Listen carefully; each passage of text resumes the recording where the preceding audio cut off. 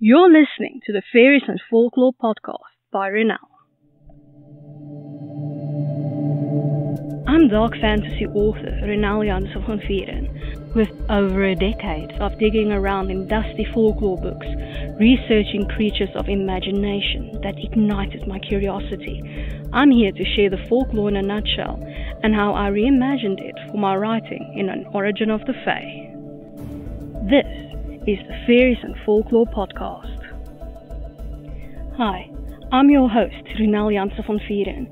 You can just call me Ronel. In today's episode, we're continuing our exploration of the realm.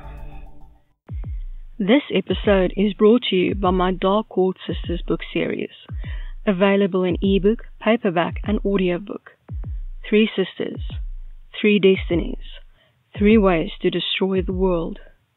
Go to ronelthemythmaker.com forward slash Dark Court Sisters series for more.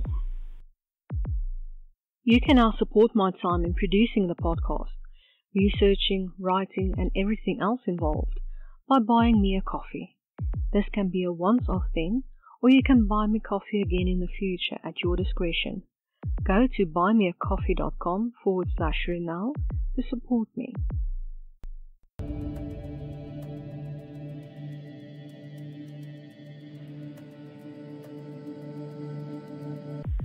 We're continuing our exploration of the Dark Fae. Today's fairy, Storm Hags, folklore in a nutshell by Ronel. There are two distinct storm hags in folklore, the Celtic Cailleach and the storm hag of Lake Erie. Let's first look at the storm hag of Lake Erie. This American fairy is known to lurk below the surface of Lake Erie near Presque Isle. Much like a river hag, she is fond of wrapping her long green arms around the unwary and drag them beneath the water.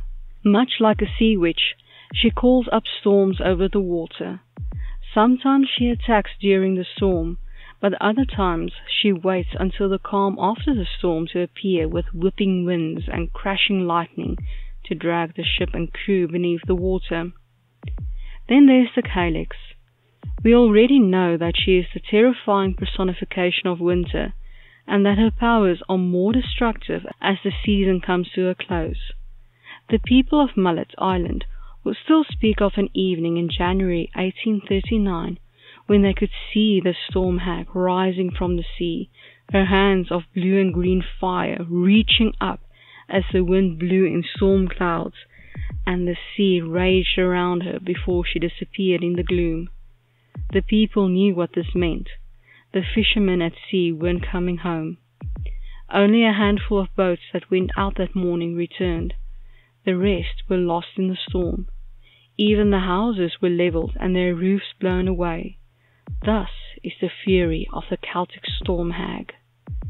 I have found a third storm hag in Japanese folklore called the Shikomi. It roughly translates to terrible woman. This fairy is described as having sharp, jagged teeth and bloodshot eyes.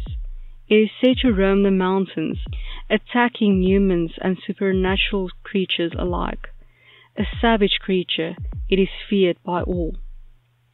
Looks like storm hags are powerful, scary, and hungry for murder.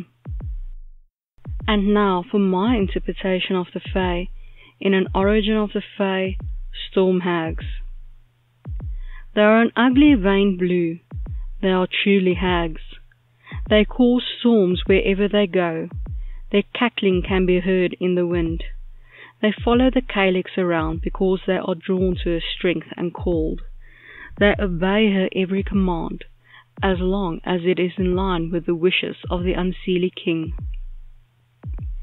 As a little bonus, let's look at this fairy translated to Afrikaans, Stormwyf. I hope that you've enjoyed this episode of the Faeries and Folklore podcast and that you've learned something new about fairy. Remember that you can get a transcript of this episode in the description. If you're new to the podcast, why not go and grab your free copy of Unseen, the second book in the fairy tale series, on my website, ronelthemythmaker.com. Loads of folklore, magic, and danger await. Take care